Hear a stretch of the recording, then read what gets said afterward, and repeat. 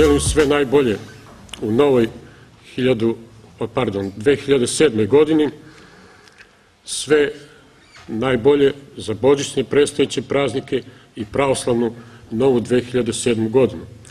Da pozdravimo predstavnike Skupštine opštine Negotin, sveštenike opštine Negotin, brojne prijatelje i saradnike profesora Vojislava Stojanovića. Hvala što ste došli u ovolikom broju.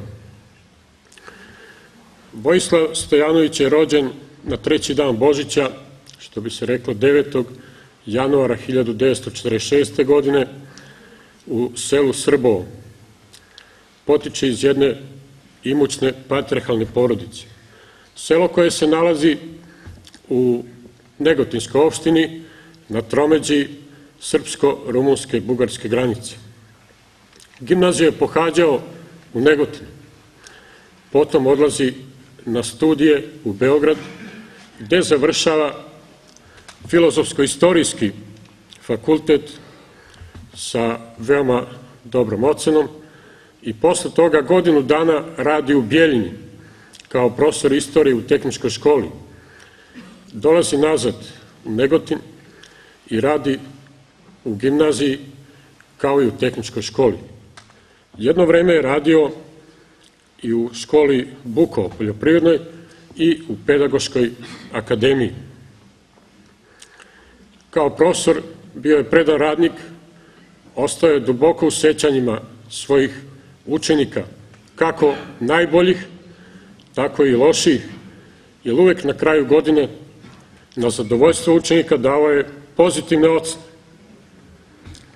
Šta bi mogli još reći o njegovom radu?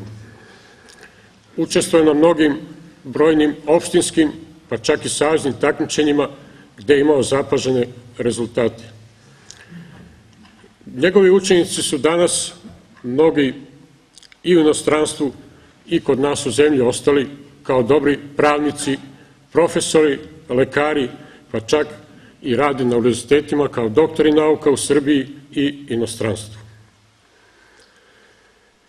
Što se tiče ove knjige, dugo je trebalo raditi, istraživati istorijske izvore, istorijsku građu, tražiti zapise savremenika kao i mnoge istorijske karte prikupiti. Jer ovo je prvi put da se radi ovakva jedna knjiga koja obuhvata istoriju Vlaha na Balkanskom poluostrvu. Korišćeni su istorijski izvori iz poznatih naših dela istoričara svetskog glasa koji rade na Beogradskom univerzitetu, koji su bili profesori našem profesoru Vojislavu, a i meni su predavali. To su pre svega Georgij Ostrogorski, Radovan Samarđić, Fanula Papazoglu, Sima Ćirković, Miloš Blagović i mnogi drugi. Ova knjiga predstavlja jedno veliko delo, vidjet ste kasnije u daljem izlaganju zašto, mada ima i nekih nedostataka, jer obrađena je istorija Vlaha pretežno na istočnu Srbiju dat akcent. Vlaha ima i u Rumuniji i dogovor je da nas dvojica nastavimo taj rad, da se obradi istorija Vlaha u Rumuniji. A posle dogledno vreme trebalo bi obraditi istoriju Vlaha u Bosni i Hercegovini, jednom delu Crne Gore, Makedonije, pa čak i u Grčkoj, jer ih ima ispod planine Olimp. Jedan od nedostataka je i taj što na nekim kartama e, dati su nazivi imena pojednih mesta i čirilicom i latinicom, ali to će se ispraviti u drugom izdanju. Istorija Vlaha u antičko vreme, kao i u srednjem veku, je veoma dobro obrađena sveobuhvatno sa ogromnim detaljima, činjenicama. To je urađeno isto i za prvi srpski ustanak, učešće Vlaha zajedno sa Srbima u borbama, kao i drugi ustanak, zatim Balkanski ratovi, prvi, drugi svetski rat, međuratni period i period posle drugog svetskog rata. Da bi još nešto istakli, važan je i odnos južnih Slovena kad su došli na Balkansko polostrovo, njihov prvi odnos sa Vlasima i kasniji njihov odnos. I to je takođe veoma dobro urađeno u ovoj knjizi. Što se tiče vlaških običaja, verovanja, praznoverja, i to je takođe dobro urađeno s tim da je bačen akcent na slična, odnosno potpuno ista verovanja i običaje koje su imali Tračani i Kelti. Tako da se sa sigurnošću može tvrditi da Vlasi vode keltsko-tračko poreklo. U ovoj knjizi su od velike vrednosti obrađena dva događaja. Iako je u potpunosti ovo tačno i sa naučne strane i sistematično ako se dokaže, to su dva događaja pre svega iz vremena Aleksandra Makedonskog i period posle Kosovske bitke. Prvi događaj se odnosi na pohod Aleksandra Makedonskog velikog na Tribale 335. godine pre nove ere, odnosno pre Hristovog rođenja. Druga poznata bitka je bitka na rovinama maja meseca 1395. godine. To će u izlaganju bolje, opširnije objasniti Vojislav Stojanović. To bi bilo od velike vrednosti i ova knjiga sa ova dva događaja zauzela bi visoko mesto u istorijskoj nauci. Vreme će pokazati svoje kao istoričari koji će dalje raditi na istraživanju istorije Vlaha na Balkanskom polostru. Sad reč ima profesor Vojislav Stojanović. Izvolite, profesor.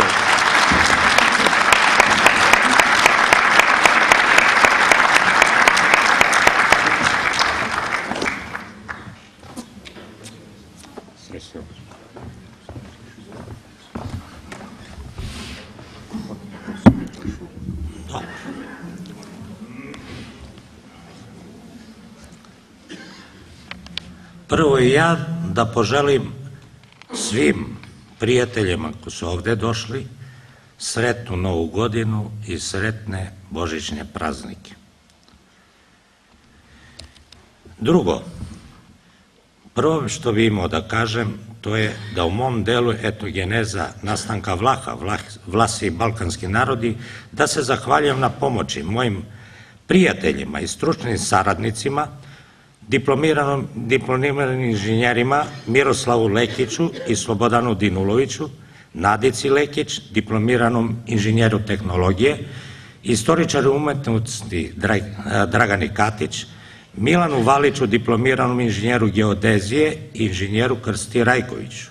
Veliku zahvalnost dugujem i mom prijatelju iz studentskih dana, pokojnom doktoru Ivanu Đuriću, koji mi je omogućio pristup mnogim istorijskim dokumentima u periodu kada je to bilo teško i nemoguće. Što se tiče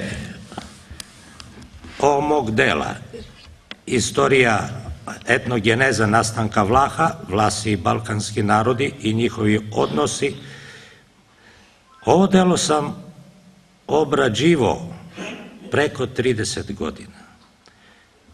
U, u ovom delu sam dao sve ono što sam mogao i koliko sam umeo. U pisanju istorije Vlaha, mukotrpnim decenijskim istraživanjima, istorijskih podataka o Vlasima, prvo sam onoliko koliko su moje stručne i intelektualne mogućnosti dozvolile kao jedinki. U daljim istraživanjima istorije Vlaha potrebni su istoričari sposobni stručnjaci za analize istorijskih izvora koji poznaju turski, francuski i engleski jezik, Potrebni su i dobri arheolozi, etnolozi i lingvisti. Neophodno da se svi takvi stručnjaci angažuju u pronalaženju i ispitivanju istorijskih izvora u francuskim arhivima Sorbone, arhivima Otomanske imperije, Kembridža, Oksforda, Vatikana, Velsa, Škotske i manasira Hilandar. Za sve su to potrebna velika finanska sredstva koje se u današnje vreme teško obezbeđuju. U slučaju obezbeđivanja materijalnih sredstava, adekvatne stručnjake je lako angažovati. Delo etnogeneza Vlaha mnogima neće odgovarati iz ko zna kojih sve razloga. Ovim delom sam pokušao da koliko je u mojoj moći zadovoljim istorijsku prošlost Vlaha i istorijsku istinu. Čuveni naučnik Đorđe Stanović se slikovito izrazio. Ništa nije grešnije nego znati neke istine, a ne hteti iskazati drugima. Koliko sam u tome uspeo, svoj sud da će buduće generacije istoričara. U delu verovatno postoji nenamerne greške, Ako postoje, one su nastale usled nepotpunih podataka, podataka koje će istorijska nauka kasnije otkriti. Nije istoričar, nije sveznajući. Svaki istoričar ima svoje slabosti i nedostatke, pogotovo ako se piše o događajima čiji je vremenski raspon dvomilijemski i što je o etnogenezi Vlaha vrlo malo pisano. I ono što je napisano do današnjeg dana, napisano je često tendenciozno i netačno. Velike napore u pisanju ovog dela eliminiše moje zadovoljstvo da sam započeo ono što će naredne generacije nastaviti. Svaki narod ima pravo da upozna svoju istorijsku prošlost, zašto to pravo ne bi imali i vlasi, bez obzira na kojim teritorijama žive i kakva imena nose. Istoričar treba da bude miran i uzdržan, Treba se čuvati iskrivljavanja činjenica kao mogućeg sredstva propagande.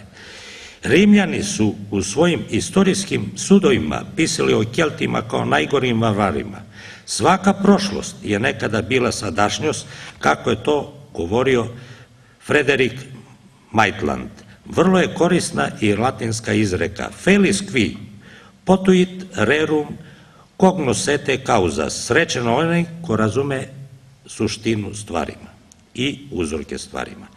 Probleme sa istorijskim činjenica Problemi sa istorijskim činjenicama su veliki kada analiziramo istorijske podatke o Keltima. Najnepouzdaniji su podaci rimskih istorijskih izvora o Keltima.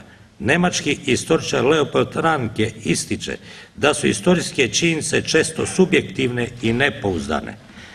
Istoričar ne treba da bude propagandno sredstvo, određenih grupa, istoričar treba da bude istoričar, dopadalo se to nekome ili ne. Svedoci smo mnogih tendencioznih i kvazi istorijskih dela. Svaki istoričar kao čovek ima pravo na grešku ako je ta greška nenamerna i netendenciozna. Istina je manje ili više vidljiva stvarnost koja postoji sama po sebi, nezavisno od subjektivnog razumevanja njene suštine i od gledanja na njeno postojanje. Etika istorijskog istraživanja podrazumeva i nameć utvrđivanje uzajemne zavisnosti između onoga ko traga za istinom i putava i načina kojima će istoričar doći do rezultata svog rada. Istorijski prostor traganja za istinom u ovom delu je veliki, trnovit i isprekida mračnim oazama materijalnih i pisanih podataka koji su često zlonamerni i neistiniti. U svom radu nastojao sam da odgovorim na jedno vrlo teško i komplikovano pitanje. Ko su Vlasi, poreklo Vlaha, gde su koreni Vlaha i misterija opstanka Vlaha do današnjeg dana. U 30-godišnjem istraživanju koristio savete svojih profesora koji predstavljaju svetsku elitu. Fanul Papazoglu, jednog najvećih stručnjaka za istoriju antike, često nam je savetovala da svaki podatak ne mora da bude istinit i da vrebaju opasnosti da se negde iza kriju interesi, predrasude savremnika o drugim narodima, težnja da se nešto prikrije ili se jednostavno nešto izmisli. Georgija Ostrogorskog, najvećeg svetskog stručnjaka za istoriju Vizantije, za odnose Vizantije i južnih Slovena, za odnose Vizantije i balkanskih naroda, za odnose Vizantije i Vlaha i za odnose Vizantije i Turaka Osmanlija. Simu Čirkovića, najvećeg stručnjaka za srednjovekovnu istoriju Srba, za odnose Srba i balkanskih naroda. Od nas je uvek zahtevao istinitost i verodostojnost u prikazivanju istorijskih događaja. Radovana Samarđića, velikog stručnjaka za odnose Turaka, Osmanlija i južnoslovenskih naroda na Balkanu. Relje Novakovića, koji je na vežbama, to jest u analizi podataka uvek zahtevao da povežemo topografiju, reke, planine i moguće prodare mnogih naroda. Dragoljuba Živojnovića, stručnjaka i čoveka čija su predavanja i izlaganja uvijek bila dopunjavana konkretnim istorijskim činjenicama i dokazima. Uopštavanje i falsifikate je razotkrivao i nije podnosio. Istorija Vlaha je i moja potreba i želja da otkrijem tajnu svog porekla, saznam prošlost svojih predaka i koliko mogu trasiram put daljim istraživanja prošlosti jednog od najstarijih naroda Balkanskog polostrva. Nesumnjivo da su u svojoj prošlosti vlasi najviše sarađivali i uzajamno se asimilirali sa Dačanima, Srbima, Bugarima, Grcima i Hrvatima. Asimilacija je proizvod zajedničkog mirnog života, ekonomske saradnje, bračnih veza, odbrano od zajedničkog neprijatelja i borbe za opstanak. Nepobitna je činjenica da Vlahije možemo nazvati kako god hoćemo, ali svi oni na Balkanskom polostru govore istim jezikom uz male razlike, Običaji su im isti ili slični, folklor je isti, praznoverija i sujeverija ista, mentalitet isti. Vlasi se jedino razlikuju u jednoj nepobitnoj činjenici. Nisu nikada težili organizaciji koju nazivamo država.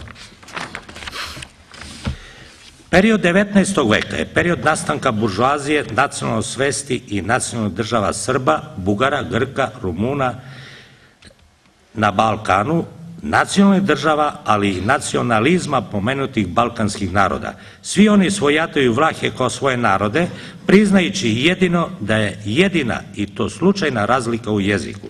Njihove nacionalističke istorije nastoje svim dozvoljenim i nedozvoljenim sredstvima da dokažu da su vlasi njihovu. Tačno je i to da su vlasi, zavisno od teritorija gde žive, sarađivali sa svim ovim narodima i da su od ovih naroda prihvatili mnoge njihove osobine, običaje, kulturu, nacionalnu politiku, ratove i njihove države kao svoje države. U ratovima su ginuli kao i ovi narodi na svim stranama.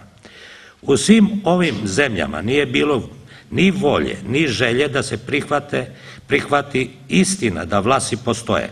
Priznati samo njihovi običaji, folklor, predrasude i praznoveri.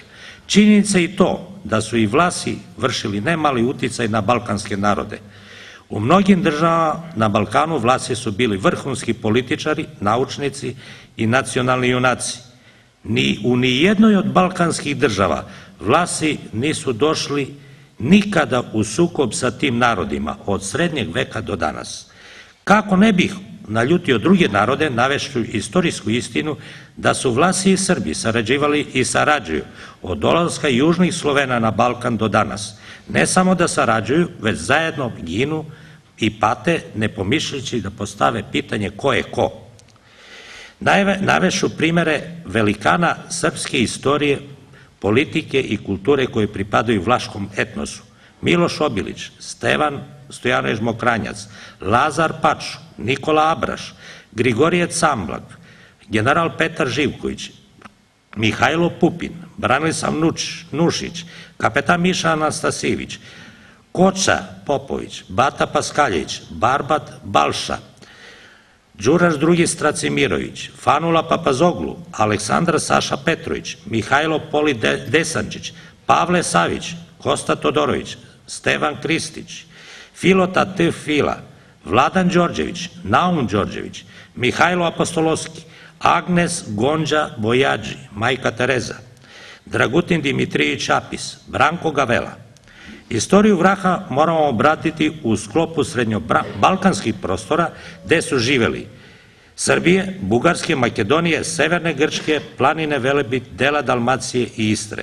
Pored svih mojih napora, istorija Vlaha na Balkanskom polostoru nije podjednako obrađena. Ona je zavisila od istorijskih izvora i literature koje sam raspolagao. Vlaha, bez obzira na različite termine i nazive, na Balkanskom polostrvu ima nekoliko miliona. Istorijskim falsifikatima svi svojataju Vlahije kao deo svog naroda. To je istorijski pogrešno i nepošteno. Sistematizacijom istorijskih podataka o vlasima nepogrešivo i verodostojno se može utvrditi geneza nastanka Vlaha i njihova istorija od nastanka do današnjeg dana. Proces prisvajanja Vlaha počinje sa pojavom nacionalne svesti kod balkanskih naroda u 19. veku. Razvojeni na Balkanskom poluostrvu, egzistirajući u svim novokomponovanim državama, vlasti su dobrovoljno prihvatili da su u Bugarskoj Bugari, u Srbiji Srbi, u Rumuniji Rumuniji, u istočnoj Srbiji vlasi. Nisu ni mogli drugačije ako su želeli da ekonomski i politički budu uspešni u svim ovim državama. Treba imati u vidu i nacionalističku istoriju balkanskih naroda, odnosno balkanskih država od 19. veka do danas. Nacionalistička stremljenja balkanskih buržuazije i njihovih država načinili su od Balkana bure barota. Ratovi balkanskih naroda u 19. i 20. veku su najbolji dokaz. Ovim događajima na Balkanu, dodamo li interese velikih sila u 19. i 20. veku, slika balkanskih tragedija potpuno. Tragedija balkanskih naroda u sklopu protirečnih interesija velikih sila počinje 1690. godine. Nastavljena je u austro-turskim i rusko-turskim ratovima, drugom balkanskom ratu, prvom i drugom svetskom ratu. Najnoviji događaj u SFRJ nakon smrti Josipa Broza Tita i raspadanja SFRJ su vrhunac protivrečnih interesa na Balkanu. Žrtve su svi balkanski narode, narodi, žrtve su i vlasi bez obzira gde su živjeli i na čijim su stranama bili.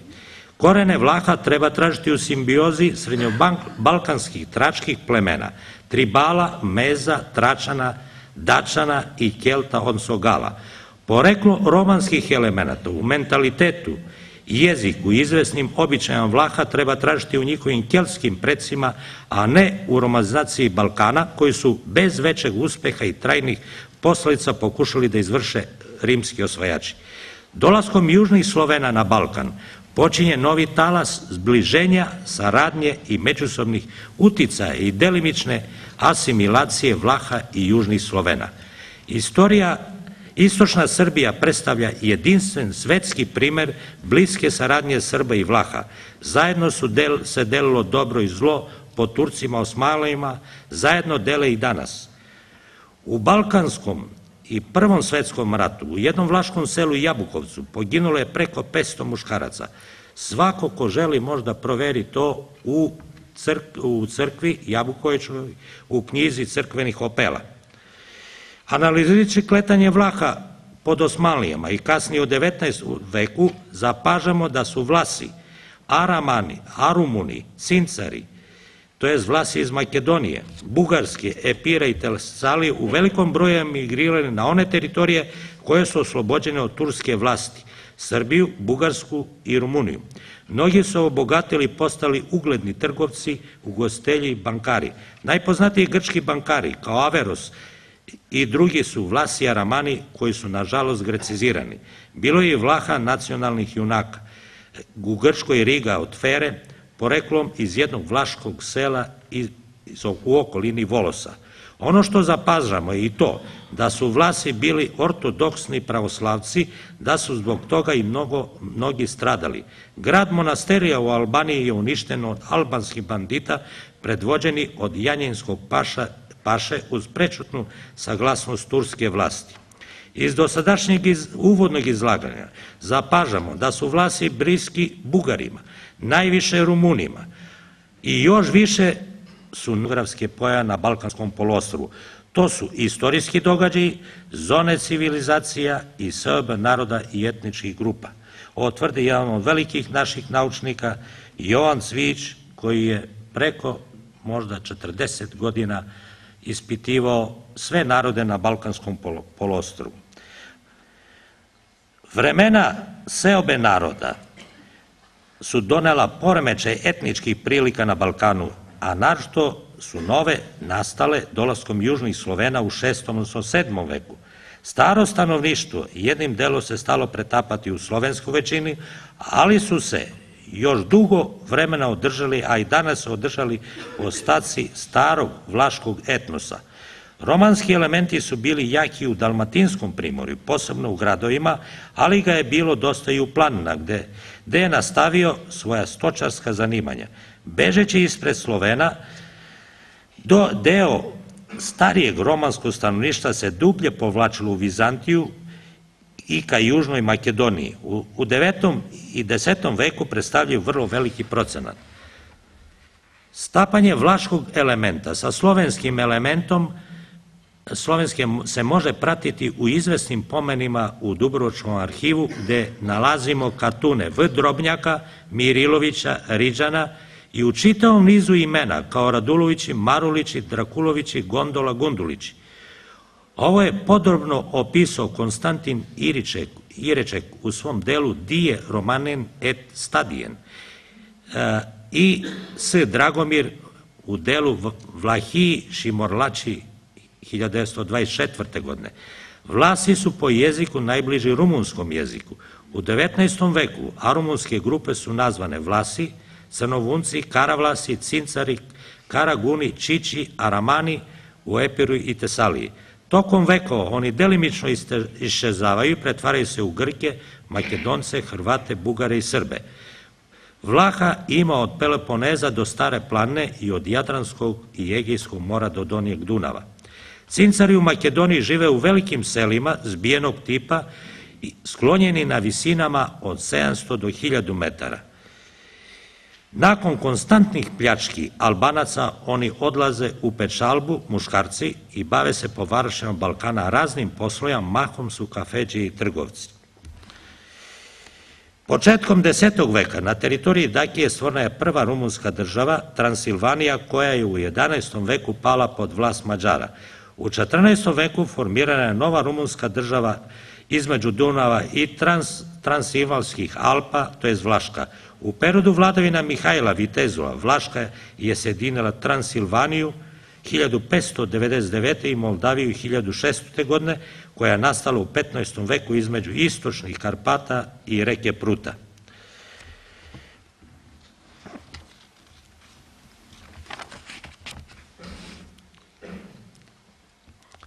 Tako su balkanski narodi zaustavljeni nakon turskih osvajanja u svom nacionalnom razvoju. Tako, tako e, balkanski narodi kasne u formiranju svojih nacija i nacionalnih ideja. U procesu borbe za nacionalno oslobođenje balkanskih naroda vidljiva je tendencija stvaranja većih država pod hegemonijom oslobodioca i ujedinitelja. Tako nastaju tendencije stvaranja Velike Srbije, Velike Bugarske, Velike Rumunije, Velike Albanije, Velike Hrvatske i Velike Grčke. U svim tim megalomanskim planovima dolazilo je do izražaja nacionalistički duh, ekonomski interes i ekspanzionistički mentalitet vladajućih buržovskih slojeva. Da bi ostvarili svoje ciljeve, upravljači balkanskih država su se u velikoj meri oslanjali na strane snage i interes. Ni jedna vladajuća elita balkanskih država nije prihvatila ideje Svetozara Markovića o stvaranju Balkanske federacije ravnopravnih naroda.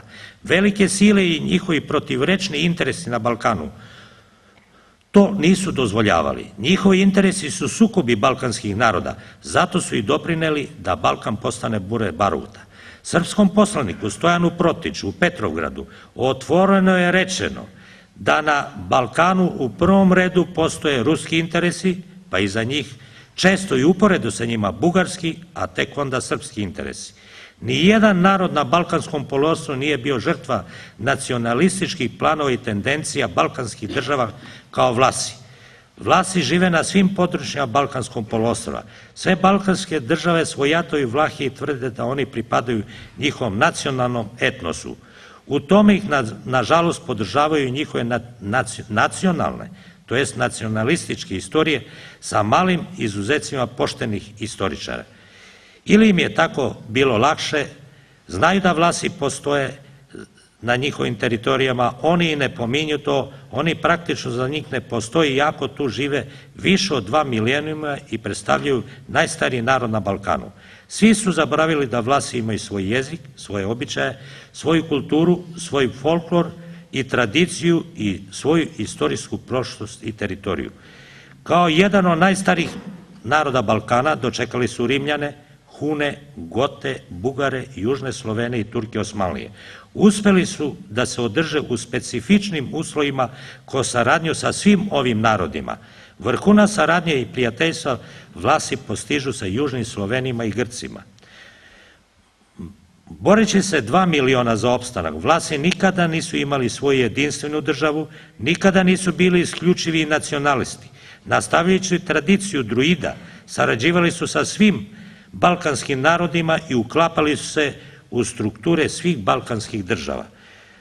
Da se balkanske države i narodi ponašali kao vlasi, Balkansko polostrovo nikada ne bi bilo postalo bure baruta. Vlasi se svuda u smanjenom broju održali na balkanskim prostorima kao etnos narod. Održali su svoj jezik bez pisma, tradiciju, kulturu, folklor i praznoverja i daleke, daleke praistorijske običaje, prenesene od pokolenja na pokolenje utkanih u hrišćansku, uglavnom pravoslavnu religiju. Za svoj opstanak na balkanskom prostoru do danas vlasi treba da zahvale zahvale mudroj politici prilagođavanja rimskom robovlasničkom društvu, vizantijskom i osmalinskom carstvu i srednjovekovnim balkanskim državama. U svim ovim državama oni su se uključili u državni aparat, vojnički, politički i ekonomski. Ovaj proces se nastavlja i u novonastalim balkanskim državama u 19. veku. Zato je svako svojatanje Vlaha istorijska neistina, zloupotreba istine i vređanje Vlaha. Vlasi imaju svoje rođake u Vlaškoj Rumuniji, Bugarskoj, Makedoniji, Istri, Gorskom Kotaru, Grčkoj, Hrvatskoj, Reci Švajcarska, Velsu, Škotskoj i Franskoj, bez obzira kako ih tamo zovu. Sada ću nešto o starobalkanskim narodima i keltima na Bal, dolasku kelta na Balkansko polostro. Najstariji narodi starog Balkana su bili Pelazgi i Minici. Iz njihovog stabla se razvijaju tu narodi Tračani i Iliri.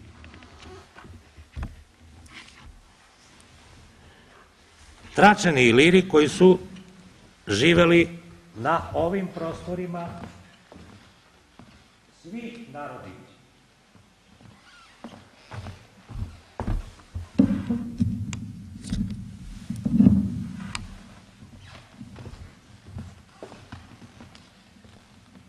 Iliri su živeli u zapadnim delovima Balkanskog poluostrava, a Tračani u centralnim na centralnim teritorijama Balkanskog polostrava. Uglavnom, najveći e, gro Vlaha nastaje e, simbiozom, stapanjem Tračana i stapanjem e, Kelta. Ono što je interesantno, svi na Balkanskom poluostrvu narodi koji pripadaju Tračanima nazvani su Tračanima. To su Dardanci, Peonci, Tračani u Bugarskoj, Tribali u istočnoj Srbiji i Jeti i Dačani na teritoriji današnje Rumunije. Vrlo malo znamo o ovim narodima, vrlo malo, to su teritorije mraka, znamo nešto o Tračanima koji su bili lokalni tračani prema grčkim kolonijama blizu Grčke i Makedonije. Protiv njih su ratovali stari Grci i ratove Filip Makedonski, otac Aleksandar Makedonski. Inače, ostale teritorije su bile potpune nepoznanice. Ono što je interesantno tu, Aleksandar Makedonski, da sada ne govorim mnogo o autorima, o Arijanu, Polibiju, Apijanu i tako dalje, izgubili mnogo vremena, jer predavanje mora da traje trače. Aleksandar Makedonski, pre pohoda protiv Persije, pre pohoda on je morao da obezbedi svoje severne granice.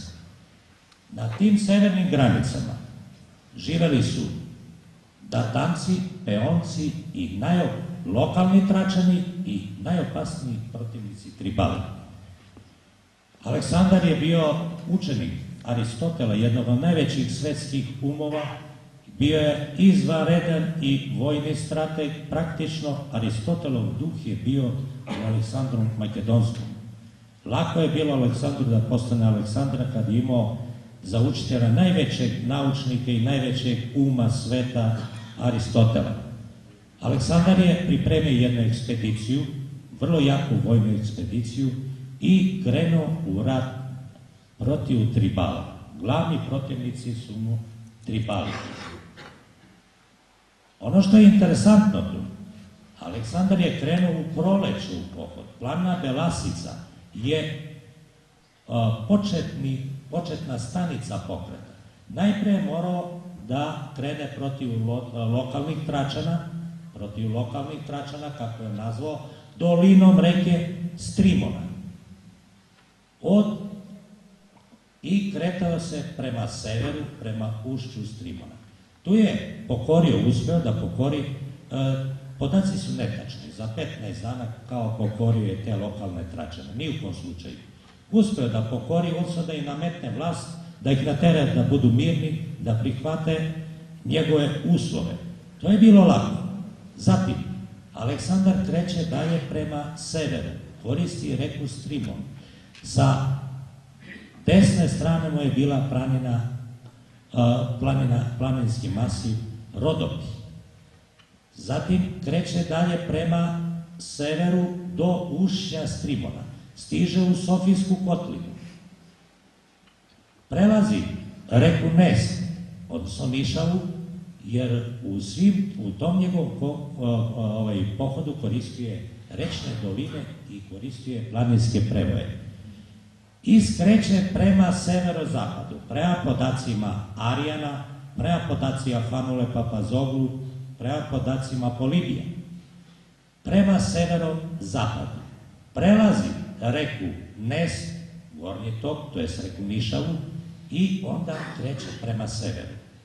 Hem, Hemus ili Hem, planina Balkan, balkanski venac mu se nalazio sa desne strane. Koristio je dolinu Timoka, koristio je dolinu Trgoviškog Timoka i tu je došlo do jedne velike borbe između Aleksandra Makedonskog, makedonske vojske i Tribala. Borbe su trajale tri dana.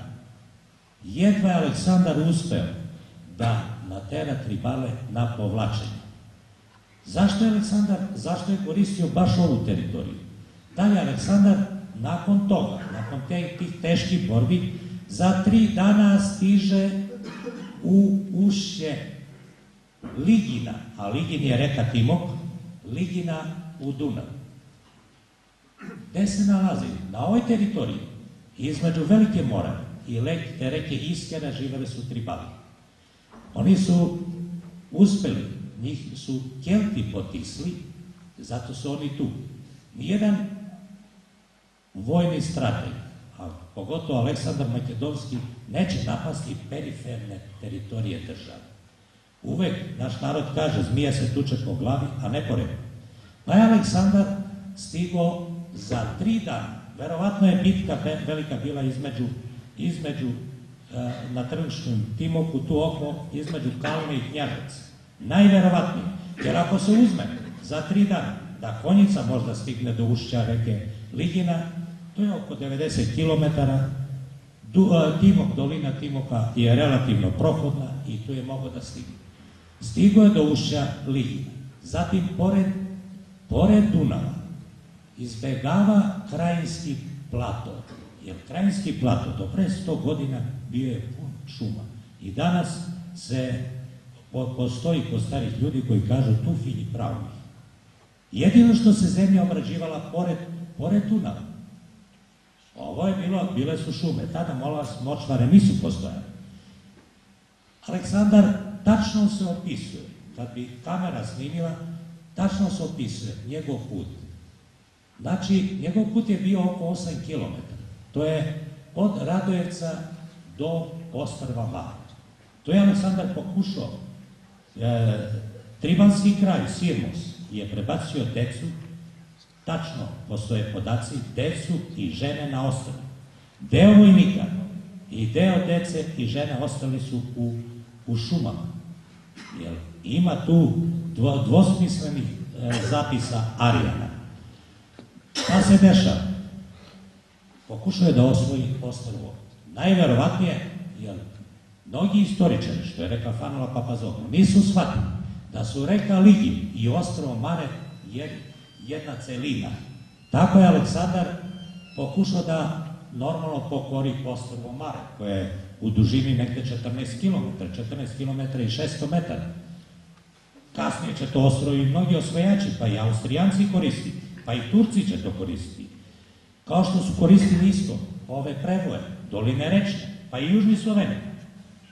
I tu se povuko, Aleksandar je pokušao da pokori, da, da pokori tribale i da zarobi Sirmosa, tribalskog kralja, u stvari on je bio on je bio plemenski vođa, vođa plemenskog saveza.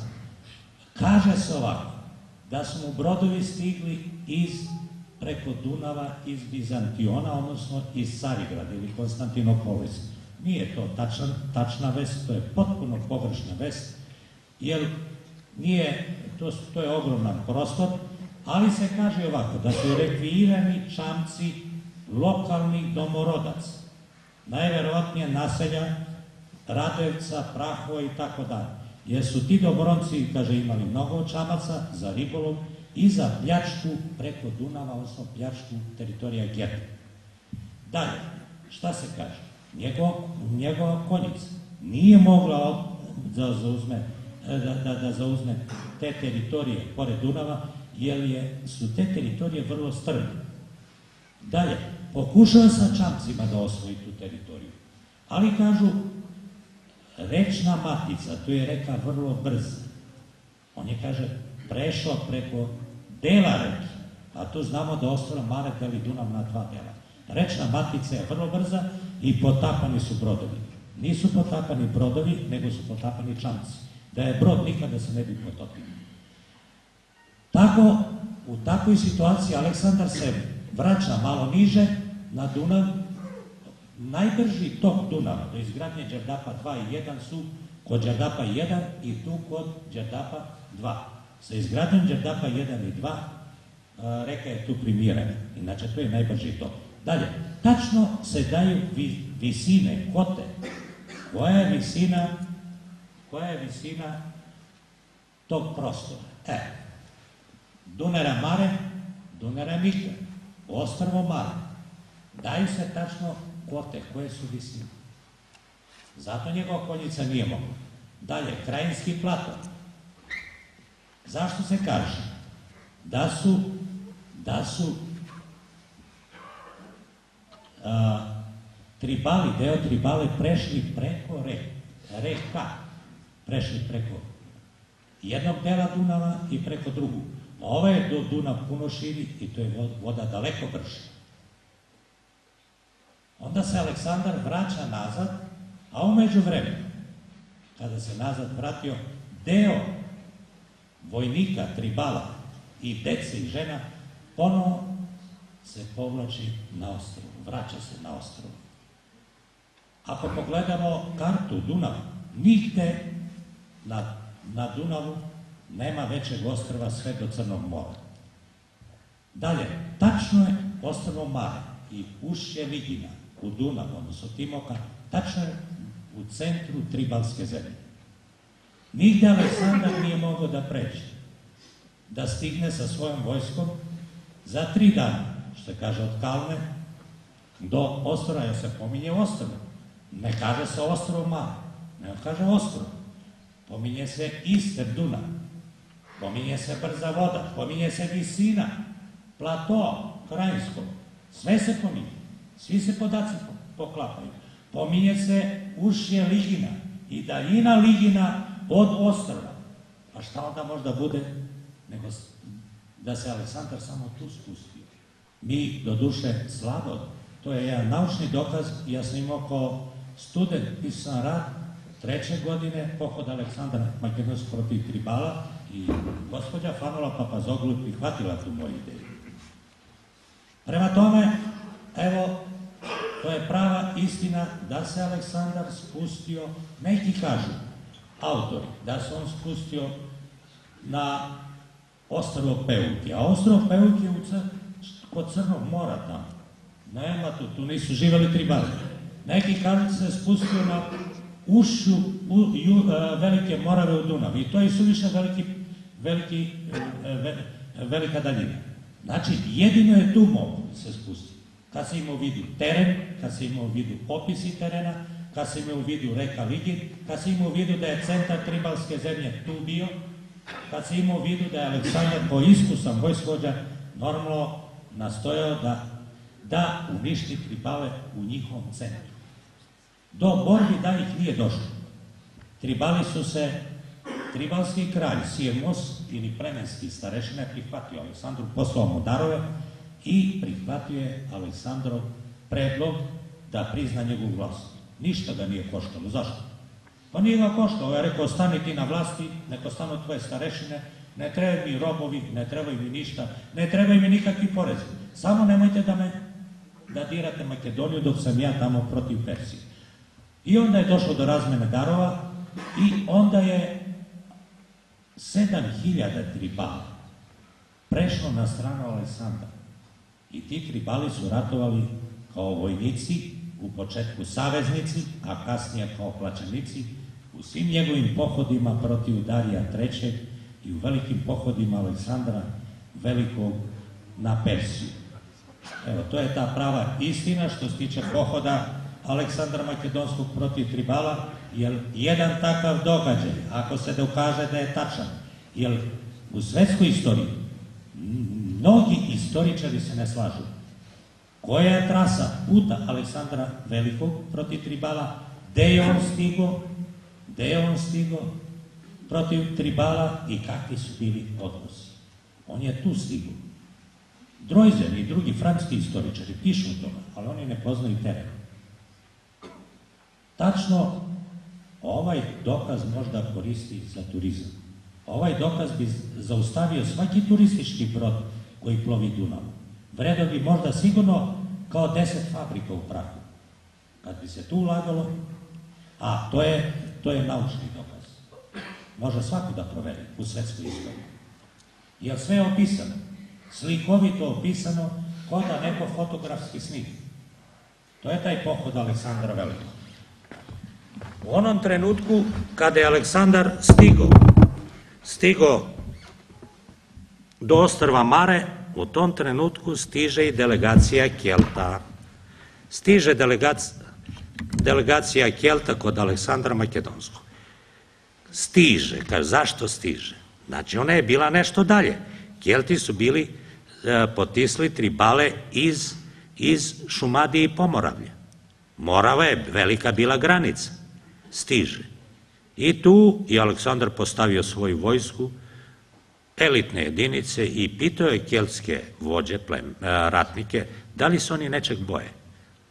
Znate šta su mu odgovorili? Mi se bojimo da, gospodaro, bojimo se da nam nebo ne padne na zemlju, na glavu. Bojimo se da, i to je prvi put, po nekim podacima, a, Taurisi su, poslali delegaciju Aleksandru Velikom Sad, da li su tauristi, da li su Belgi, da li su, mi to ne znamo. To je mrak u istoriji, to nije bitno. Nije bitno. A logički je... Znači, Celtic Comfort je su osvaja, kolonizacija uz osvajanje. Pa oni koji stižu sa Belovezom, stižu u Srednju Evropu, stižu na teritoriju današnje Čekoslovačke, stižu na Karpate, a za to imamo i dokaze. Koji su to dokazi? Reč Morava, reč Morava nije slovenska, reč Morava je kelska. U versu, Englezi nazivaju Morava u prevodu znači rek, znači rek. Zato tu postoji Veliko Moravska, zato postoji tu reka Morava. Zato u Poljskoj, između Poljske i Rumunije i Karpata, postoji oblast Galicija, Gali ili Kelti. Zato postoji oni Galicija u severozapadnoj Španiji, tamo oko La Korunje, isto Galicija, ništa ne može da bude slučajno.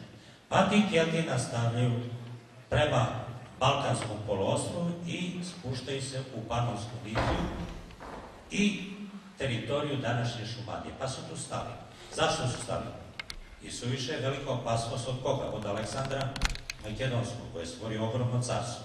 Druga grupa Kelta, druga grupa Kelta stiže u Italiju. U severnoj Italiji i severni, oni sarađuju sa Etrurcima, sarađuju sa Latinima, Laci, koji su borci, i njima tačno se opisuje, prodaju vunu, prodaju ovće meso, prodaju sve ono čime se bavi. Dalje, 364. godine ti Kelti pod vodstvom prenosa prvo osvajaju Rim. Nisu napustili Rim dok nisu dobili otkup od prenašena. 360. dok nisu dobili otkup od građana Rima. Mile undo auro. Normalno da je tu bilo i krađe oko zlata i na kraju krajeva pozvan je prenos i koji se žali se Rimljani da oni da lažu oko zlata, da više uzimaju nego što je dogovorno i prenos je stavio svoj mač na jednoj strani vage i onda je sve bilo u redu i uz izjavu teško pobeđeno. Kasnije, pod prenosom, deo Kjelta prelazi preko Jadranskog mora, prelazi u Istru, prelazi u Dalmaciju, prelazi u Goru i prelazi u Albaniju. Druga grupa, umira Aleksandar Makedonski, raspada mu se carstvo. Druga grupa Kelta prodire prema, prema, prema istočnoj Srbiji. Svuda, zatim prodiru u Dakiju. Druga grupa Kelta prodire u Dakiju. Nakon prodara u Dakiju, Kelti isto najpre naseljavaju planinske teritorije za potrebe stočarstva, za, za potrebe i rudarske centre. Naseljavaju rudarske centre. Ja su imali izvaredne zanatlije. Nisu svi Kelti, deo Kelta ostaje sa druidima. Ja su druidi njihovi sveštenici i njihovi, njihove sudije. Vrlo su pošteni bili, najpošteniji i imali poverenja i u svakom trenutku mogli su da menjaju svakog plemenskog starešina. Bez ikakvih, ako bi radio protiv interesa Kelta. Deo Kelta ostaje. Mešaju se sa kim? Sa Tračanima, sa Dačanima i Getima u Rumuniji, sa Tribalima u istočnoj Srbiji, mešaju se dalje, drugi deo sa Tračanima u Bugarskoj, drugi deo Kelta kreće dalje, Kelti konfuor sa porodicama i broj Kelta se smanjuje. Pa su Kelti onda stigli do Crnog mora i do Anadolije. 280. godine oni se nalaze na teritoriji Makedonije i Severne Grčke, na teritoriji Epiri i Tesalije. 280. godine oni pobeđuju ovaj Ptolomeja Herauna, makedonskog kralja koji je poginuo u bitci. Posle toga dolazi do, do pokreta prema Delfima. E, legenda, kažem, o meni je to legenda, nije istina. Kelti nikada nisu doživali poraz kod Delfa.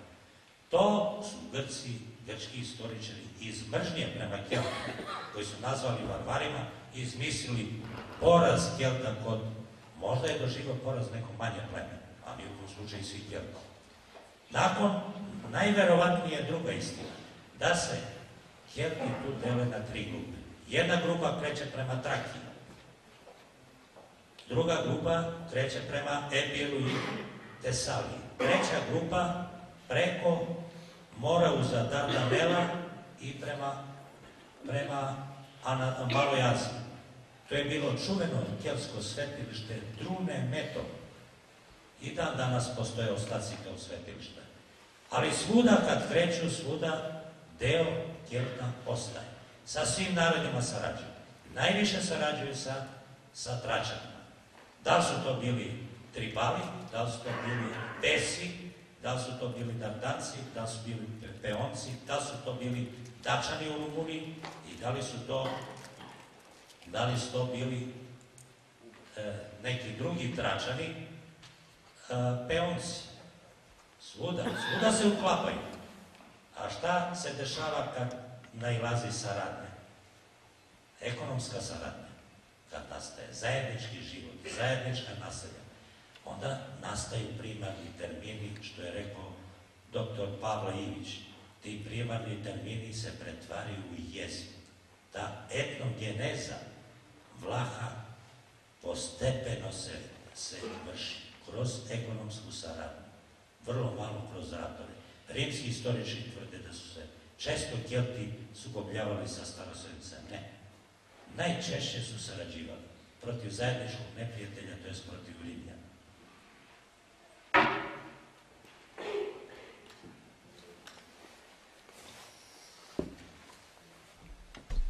Ja sam Teodonije, planina Kodruša planina, ali tek nakon povlačenja u Podonavlje pod pritiskom rimskih legija. Posidonije, rimski istoričar iz prvog veka pre naše ere, navodi da je on od kelskih plemenskih starešina, Batana, vodio deo Kjelta sa juga prema severu. To je taj Batanatov put. Interesantno je i to da je vodio istim onim putem koji je, koji je koristio Aleksandar Veliki u pohodu protiv Tribala. Zato je Cviš bio pravo da se uvek koriste određene, određeni prevoji i određene rečne doline. Bilo da se radi o povlačenju, bilo da se radi o osvajanju. Što se tiče rimskih osvajanja,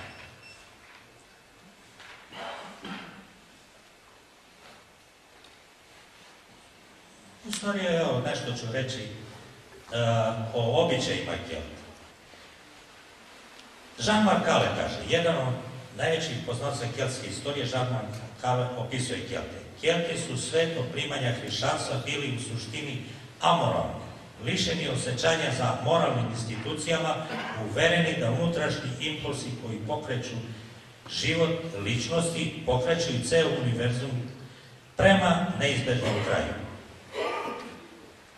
Dalje, ja on to govori i ovako. Kelti su prvi u to vreme e, jedini od evropskih naroda vodili pse obučene za borbu.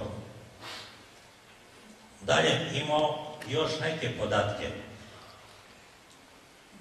Kelti se e, po Strabonu, posle vojnih pobjeda po našoj okolo i obraženo, dok su posle poraza malodušni i utučeni. A, dalje, što se tiče Kelta, a, ja vam to ovako kažem.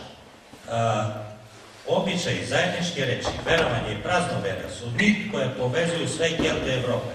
To su dokaze koji nas upućuju na zaključak da poreklo Vlaha treba tražiti u simbiozi Kelta i Tračana, romanizaciji velikog dela Evrope i Balkana i zajedničkom životu Slovena, Vlaha i Grka. Navešu samo neke reči koje su, koje su formirane u periodu etnogeneze nastanka Vlaha, odnosno spajanja Kelta i Tračana, svih Tračana. Te reči se poklapaju vlaške, kelske ili franske reči i izrazi. Ništa nije palo sa neba i ništa nije slučajno. Evo, Kolin, Kulmija, šta znači? To je brdo. Francuzi kažu Kolin, Vlasi kažu Kulmija, Srbi kažu brdo. Odakle, vidite, potiče i, i, i reč Kolin, stalno išli za ovcama. Stalno po brdima su išli za ovcama. Dalje, dans, dans, ongl, ungja ili noga, lorej, uređa, verse, varsa, can, can, il pli, ploaie,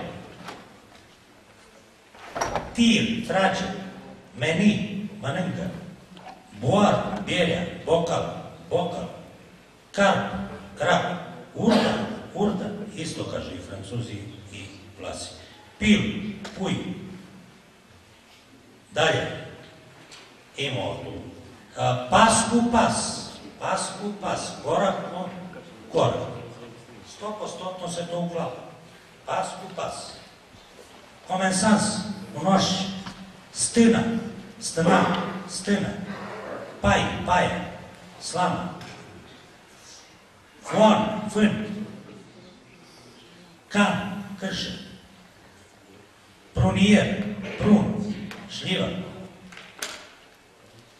șlivă, lac, lac, mund, mond, morminț, uhom ili humka, ravioli, šta znači ravioli? Raskalaša. Ova ova keltska reč, i ovo je keltska reč koju koriste Englezi, na šta nas ona podsjeća? Na Miloša Obilića i njegovu ljubav po narodnom predanju sa Vilom Raviojom. Gde bi kao vlah Miloš vodio ljubav sa Raviolom na planini Miloš, pošto on iz okoline dobre. Keltska reč Morava znači reka. Imao i neke tračanske reči. Kao Bajat Mladić, Gutuj Dunja, Kuj, Gnezdo i tako dalje. Što se tiče rimskih osvajanja, Balkanskog polostrava, Rimljani su osvajali, ratovali protiv Kelta i Gala od 145. godine do 107. godine. Svesno, hrabro se suprostavljaju Rimljana. Čime se suprostavljaju? Zašto? Pa nisu želi da budu robovi. Nisu želi da budu šta? Sve odluke donosi rimski senat. Gde provode zarobljene? U gladiatorskim arenama. To je životinski ukus rimskog carstva. To je carstvo zla, koje bacaju robove da se bore sa, sa, sa, sa lavojima, hladnim lavojima. Prema tome, e, u tom momentu se završava 90% etnogeneza formiranja vlada. Kada se u borbi protiv Rimljana u potpunosti ujedinjuju Tračani i Kelti. Rimljani su krenuli u osvajanje centralnog Balkana sa juga. Nakon pada Grčke, oni su krenuli prema severu. Teške su borbe bile sa, sa ujedinjenim snagama Tribala, sa ujedinjenim snagama Besa, sa ujedinjenim snagama Tračana, Svih i Kelta. Teške su borbe. Od 145. do 15. godine, tek 15. godine Rimljani su stigli na ovim prostorima. Ratovali su neki poznati komandanti. Ja od njih je bio Kras, koji je bio član prvog triumvirata. Drugi je bio, drugi je bio a, ovaj a, Sula, koji je uspostavio Sulu i. Tu su i doživali velike poraze. Velike poraze Rimljani. Nisu oni tako. Ali su koristili politiku Devide Tipera, zavadi pa vladanje.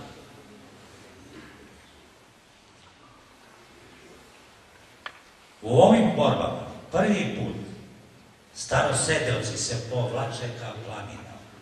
Gde se povlače? Ka planinama, ka Homolju u istočnoj Srbiji i planinskom vencu, ka planinama u Makedoniji, zapadnoj Makedoniji, ka Olimpu, ka Balkanu, svuda su tražili spas od rimskih legija. I tu su svuda i nalazili i spas i opstanak svoje dece i našli su, snašli su se, svuda su tu imali, bavili se stočarstvom, našto gajenjem ovaca. Životni uslovi su teški bili, ali broj dece je bio veliki, planine su bile neprohodne za limske legije, jer su Rimljani osvaja, uspeli da osvoje nizijske predele, udoline i prevoje i rečne tokove. Nisu zalazili oni u planine. Planine su imale tu sistem, kako se tu cvić izrazio izolovanost. E, zato su ostali vlasi kao vlasi. Zato su se oni potpuno izmešali. Deo starosedelca, odnosno deo Ga, Kelta i Tribala, odnosno Vlaha, je ostao. Kad su Rimljani osvojili te teritorije Balkan, 14. godine, odnosno 15. Tiberije stiže na Dunav. Zadnje teritorije koje su pale, to su teritorije istočne Srbije. Zadnje teritorije. I tu je formirana provincija da, a, ovaj, Mezija. Donja Mezija i Gornja Mezija. Tu su Rimljani ostavili starosedeoce jednu vrstu samouprave, jer je trebalo sakupljati za vojsku hranu. Trebalo, a, a starosedci su najviše Rimljana davali a, vunu, a, ovce i žit. Kasnije, iz tih rimskih logora razvijaju se, razvijaju se rimski gradovi, kao Vidinacijum, Sigidunu, Akve, Prahovo, i drugi rimski gradovi na Balkanskom poluostrvu. Bilo kako bilo, starosedioci su imali e, tu težak život, oni koji su ostali u planinama, ali oni koji nisu ostali, oni su romanizirani. Oni koji su ostali, oni su ostali kao vlas. I Rimljani su starosedioce nazivali vlasima. Isto. Dalje, Rimljani, Rimsko carstvo, kroz saradnju, je Rimljane interesovala vojska. I šta su radili? 212. godine svi građani Rimskog carstva dobijaju u periodu cara Karakale građanska prava. E, to su iskoristili starosedovci glasi i postali su vojni komandanti i postali su rimski cari. Ne treba da mnogo pričamo, jedan njih je bio Galerije, zatim Konstantin car i Maksimin Daje. Galerije koji je iz Gamzigrada, Rom, koji je podigao Romulijanu, Maksimin Daja sestrić iz Šarkamena, Maksimin Daja, kako je Srević decidno izjavio, nije u potpunosti bio romanizovan. Govorio je vrlo lošim latinskim jezikom. Kad je govorio u senatu, svi mu se smejali. Ali njega je predložio kao sestrića, lepo daju, predložio ga galerije, prihvatio Dioklecijan i da je bio jedno vreme car, kratko na stradu, ko zna po kom građanskom ratu u Rimskom carstvu protiv Konstantina. Nakon teških tih trenutaka dolazi do spuštanja Vlaha prema nizi, nizijama. U Makedoniji sa planinskih vrhova prema Vardaru, prema Bitoljskoj kotlini, u Grčkoj spuštaju se u istočnoj Srbiji prema Velikoj Moravi i prema Krajini, sa, plan, sa planine Balkan prema Dunavu i ponovo jačaju ta naselja. Slavlje, e, podelom Rimskog carstva 395. godine dobijaju a, najveći deo ovaj Vlaha ulazi u sastav Vizantijskog carstva. To je to je to istočnog rimskog carstva, sa carstva Romea. Umeđu vremenu dolazi i do, do širenja hrišćanstva. Širenja hrišćanstva i mogu da kažem, evo, to su te planine, možda ne, koje su zaustavili, evo, rimske provincije, Galerije, Kamzigrad, tere dalje. Evo, to su te provincije, dve nove koje su stvorene nakon povlačenja. 272. godine povlače se Rimljani iz Daki. Tu su najkraće i ostali. Dolazi do do širenja hrišćanstva i Vlasi i Vizantija nazivala starosedeoce. Ona je smatrala njih njihovim građanima, Vlahe. Prihvataju hrišćanstvo. Prihvataju. Ali hrišćanskoj religiji dolazi do zadržavaju deo svog pagan, deo svojih paganskih, druidskih običaja, koji su i danas se održali, hrišćanska pravoslavna crkva kao jedna širokogruda crkva prihvata to za razliku od katoličke crkve koja ne prihvata, koja kruta i sve to, e, zato kažu da su glasi najbolji hrišćani, a ne kažu najbolji srbi. Kada se održan prvi sabor u Nikeji, oče beše 325. godine, prvi sabor u Nikeji, a, koje su vlaške teritorije koje su koje su, e, gde su bile sedište episkopija. Trnovo u Bugarskoj, Akve, Prahovo i Viminaciju Kosmolac. Dalje, a, nakon a, rasepa hrišćanske crkve, 1054. godine, svi ti a, sve te vlaške episkopije su stale na stranu carigradskog, vizantijskog patrijarha jer su glasi najtvrdokorniji vidite pravoslavci. Zato će i mnogi biti predsednici crkvenih odbora u Hrvatskoj. Zato će mnogi stradati od ustaš, ustaške kame i u logorima Jasenovac. I evo njih je bio otac Branka Gaveli i mnogi drugi. Što se tiče Vizantije, najlazi period velike seobe naroda. 385. huni pokreću se u narodu. Najteži trenuci su bili u tom periodu u periodu velike seobe naroda. Zašto su bili najteži trenuci? najteži trenuci su se i Ostrogoti i Vizigoti baš tu naselili na teritoriji istočne Srbije i severne Bugarske i Trakije. Tu se naselili. Ponovo nastupa povlačenje starosedeocnog vlaha prema planinama, prema homojskim planinama, prema planama Makedonije, prema Pintu, prema planinama Epire i Tesalije. Ponovo se povlače. To je po drugi put. Planine su služile kao sunče, korupija, nevoljnike. Opet, ali tu nalaze na svoje one, na svoje ljude koji su tu živeli. I ovih teli, ne teli, nisu mogli dozvole da, da umre od nisu, nego su ih prihvatili. Kamo sreća da danas bude tako. Danas nije tako, vidite. Ali ovi su prihvatili, vidite. Svi su delili dobro i zlo. To se treći put. Sva je sreća, inače tada je pretila opasnost za vlasi i nestanu. Sva je sreća što, je, što su oni na vreme povukli. Vizigoti su otišli u Španiju, a Ostrogoti u Italiju. Vizantija ponovo osvaja ove teritorije, ponovo Justinijan obnavlja tvrđave, Viminaciju, Makve i druge tvrđave, Pontes, to je kod, kod Kladova tamo, kod Trajanog mosta, ponovo obnavlja te tvrđave, ali dolaze Bugari. Dolaze Bugari koji će oduzeti deo teritorija. 679. godine Bugari formiraju državu na teritoriji Severne Bugarske, između Dunava i Plane Balkana, oni i, i tekako jačaju, i onda dolazi do poremećaja. Vizantija uspeva, uspeva da uništi Bugarsku car Jovan Cimiskije, uništava Bugarsku državu, ulazi u Preslav, ali će kasnije ponovo tu državu jačati Simeon, Zatim ponovo će tu državu ojačati Samuil.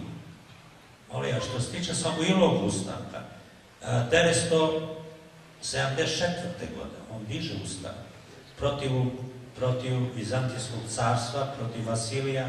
On je četvrti sin najmlađe Brsjačkog kneza Nikole, a danas, koliko znamo, Brsjaci žive, to su vlasi u Makedoniji, to je malo više i tu žive Brsjaci. E, najmlađi sin, ja njegov brat, ja njegov brat zvao se Avon.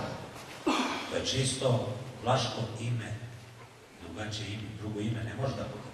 Samuilo je uspeo da osvoji, da oslobodi velike teritorije. Sve teritorije da osvoji. Osvojio je teritorije skoro svuda gde žive vlasi. Jedino nisu vlasi u Hrvatskoj, Morlaci, i u Dalmaciji bili pod njegovom vlašću.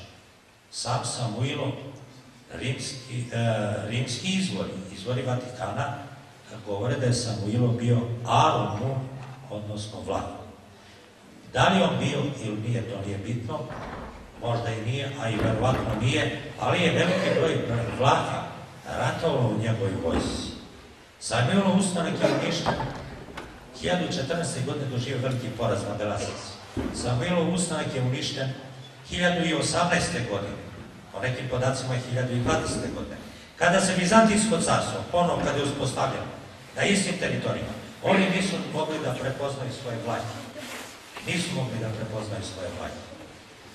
O, svoje nekadašnje građane. Dalje. Dolaskom, što se tiče Slovena na Balkansko polostrvo, Sloveni su živeli u prapostojbini.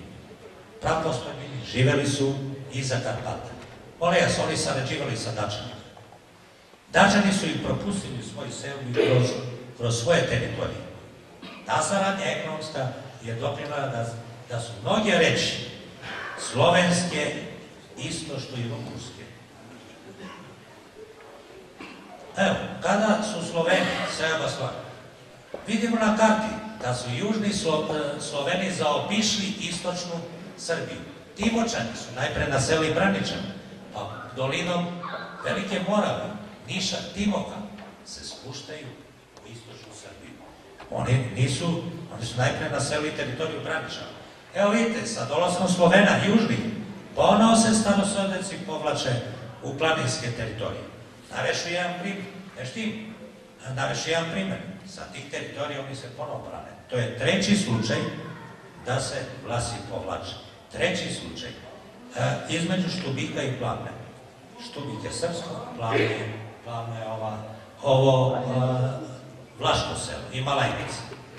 Tu su odlični tereni za odbranu. Ali, na svu sreću, Slovenija i makedonski Sloveni, i Srbi, i svi sarađivali su vrlo brzo sa starosvedocima, sa vlasima. I tu će vlasi i tekako uticati da Sloveni ubrzano prime hrišćanstvo. Jer na mnogim teritorijima nisu delovali učenici Čirla i Metodije. Ako je eliminacijom već su bile episkopi, gde su bili vlasi. Uticat će na prijem hrišćanstva, na ubrzano, ubrzani prijem hrišćanstva. Dalje što se tiče Vizantijskog carstva, interesantan primjer koliko nacionalizam utiče na, na, na, na, istoriju. Koliko može nacionalizam da izazove narode, da zarati, da, da izazove narode da međusobno zarati. Bugarski car Asen, 1185. godine, oslobađa teritoriju Bugarske sa centrom u Trnovu od, od Vizantije. Ta će i Aleksandar Velik, ta će i Stevan Nemanje iskoristiti tu priliku. Šta se desilo? Bugarski car Asen, svi ga svojataju. Jedni govore da je on bugarskog porekla. Drugi govore da je on Reju, Bulgarijom et Valahorom. Treći govore, za vreme Brežnjeva, neki bugarski istoričari, da je on Rus. Ostrogorski izvaredno to upisao u istoriji Vizantije. A, najverovatnije da je on, bugarski car Asen, centar, je on vlaških centara u Bugarskoj je Trnovu, tamo ih najviše ima, Regnum Bulgarijum et Valahorum. Tako je njegov slovio papa Inocentije III. A pape neosporno nisu mogli da pogreše. Kad se radi on, jer pokušali su na mala vrata da ubace katoličku religiju. I u Bugarskoj, Asanu su nudili krunu, ko što su u Crnoj Gori dali krunu ovaj, 1077. godine, ko što su dali krunu Stevanu prvovenčanom, ali će Savo odigrati jednu lepu ulogu između, pa je uticao na to da u Srbiji opstane i ostane pravoslavna religija, jer je on bio prvi srpski arhijepiskop, zahvaljujući i Nikeju, odnosno Vizantijskom carstvu. Dakle, Vatikan je uvijek pokušao da na mala vrata, ili ratom, ili na mala vrata, ili drskošu, ili žrtvom, pokušao da, da, da vidite, progura katoličku crkvu, religiju na naše prostore. Što se tiče srednjovekovne srpske države i Vlaha, Vlaha ima u Srbiji je bilo i tekako mnogo. A, o njima se govori u Dušanovom zakonu. Na čelu Vlaha bili su knezovi i župani. Na čelu Vlaha formiraju se vlaški kantoni, formiraju se, formiraju se mnogobrojni, vidite, mnogobrojna naselja. U Dušanu poveljama cara Dušana i svih manastira, ni jedna povelja, u svakoj povelji se govori o vlasima, govori se o njihovim običajima, govori se o njihovim dažbinama. I uvek su vlasi imali privilegije. Uvek su manje poreze plaćali nego ostali srpski, vidite, kmetovi. Ali su zato vlasi tu, pored stočarstva, uh, snabdevali srpsku državu i sa konjicom, i bili su kiriđe, glavni transport su vršili vlasi. Sad, njihovi karavani su išli prema Dobrovačkoj republici.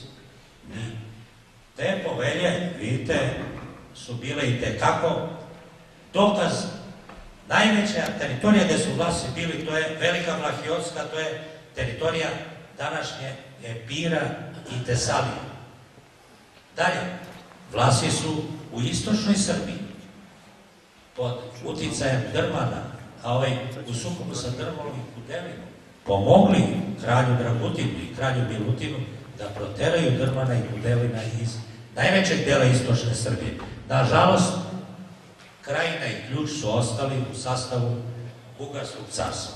Ali i sva je sreća što su tada mudri srpski vladari nastojali da dobre odnose održe sa, sa, sa, sa Bugarskom. Jedan, jedan od dokaza i taj, a i sa bugarskim vlasima i sa svima, jer vlasi u Bugarsku održavale su Bugare, vlasi u Srbiji srpsku državu, a Sava Nemanjić je umro u Trnovu.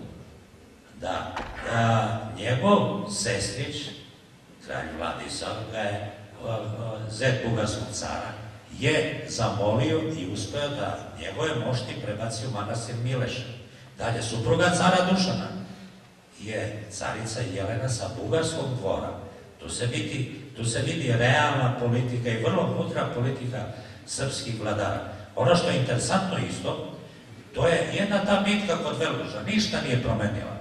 Posle bitke Dušan se i oženio sa, sa Jelenom.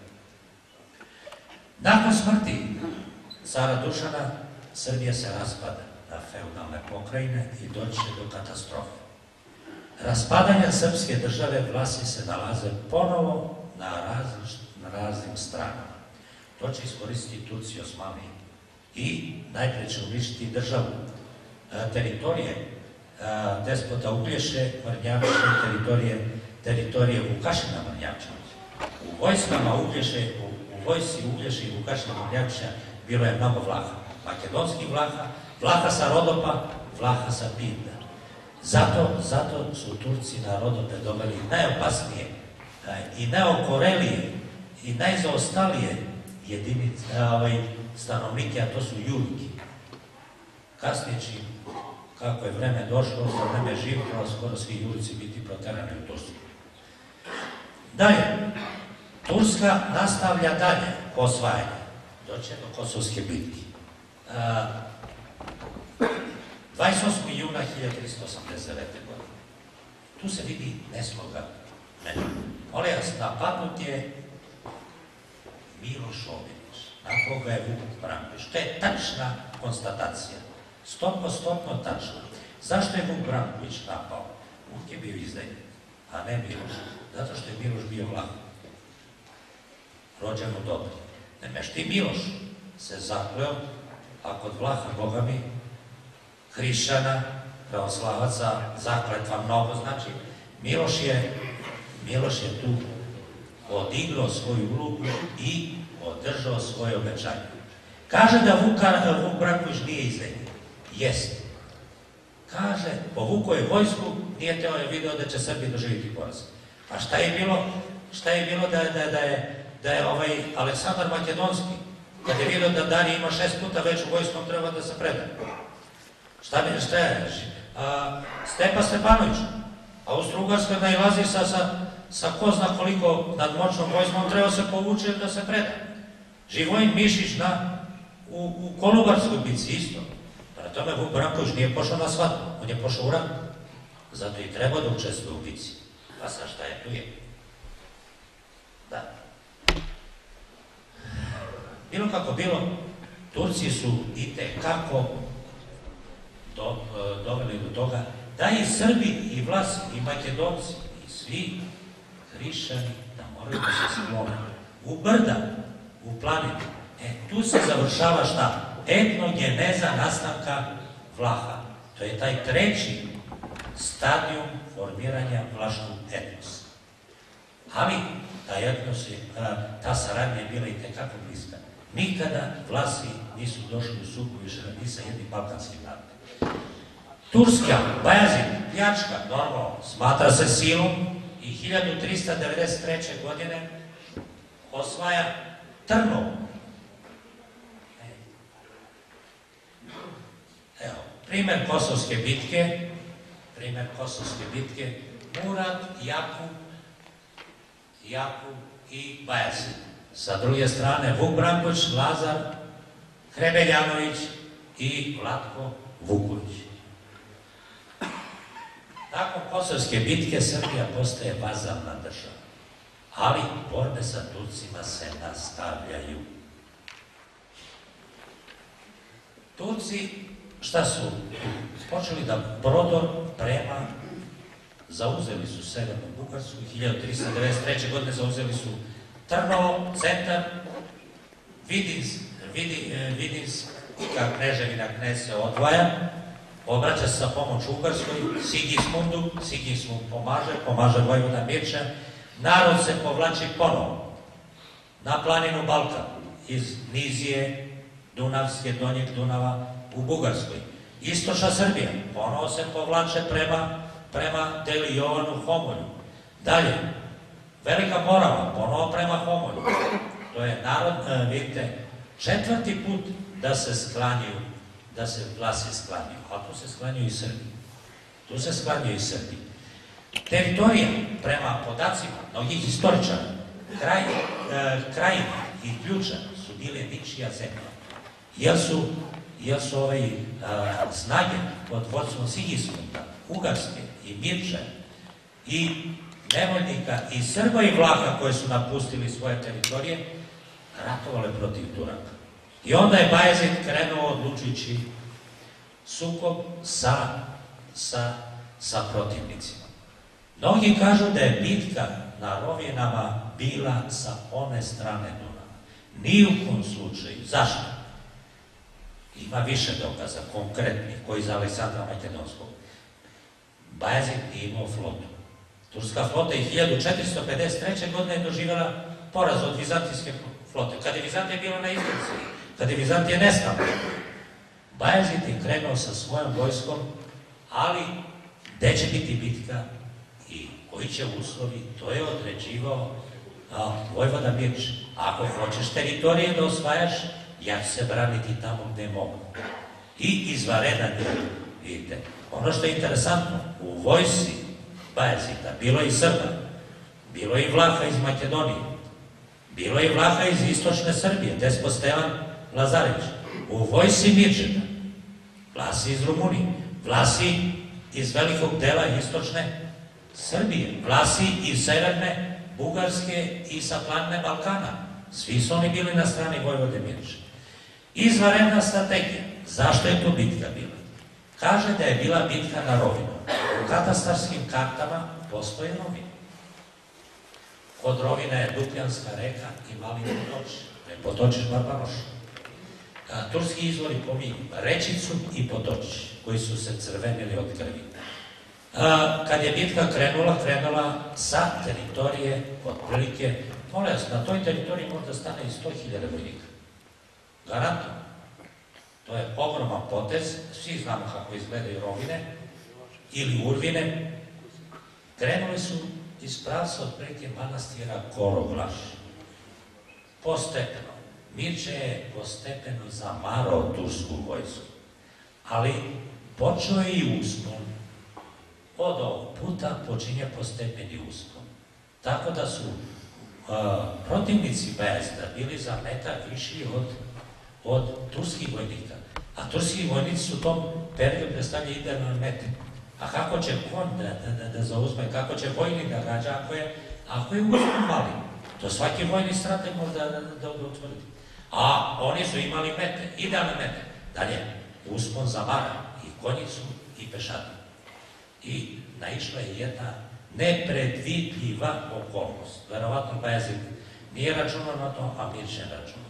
U popodnevnim satima Turska premorena vojska ratuje ne samo protiv uh, protivnika, nego i protiv sunca.